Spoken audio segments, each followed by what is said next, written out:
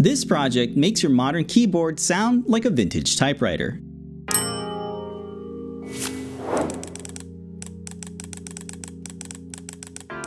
The Not a Typewriter is a little add-on device that takes your keyboard input and triggers solenoids to make clicks, clacks, and ding sounds much like a typewriter. It uses an I2C solenoid driver board and an Adafruit Feather RP2040 USB host running CircuitPython code. To capture the essence of a vintage typewriter, a small service bell sits atop the device and dings each time a tab or return key is pressed. It even works on iOS and Android devices that support USB keyboards. Perfect for writing your next novel at your favorite coffee shop or jazz bar. There are two flavors of this project. You can either turn your USB keyboard into a not a typewriter or your laptop using a CPython script.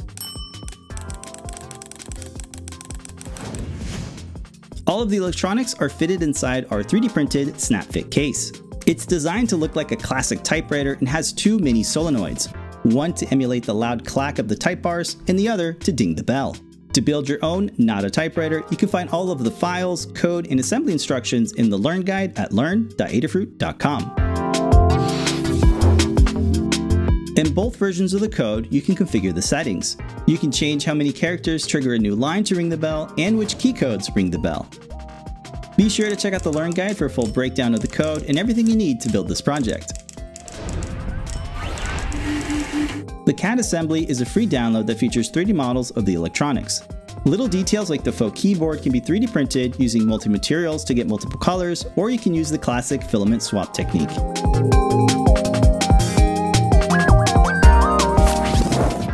We had a lot of fun building this project and hope it inspires you to check out CircuitPython and the I2C solenoid driver for your next project.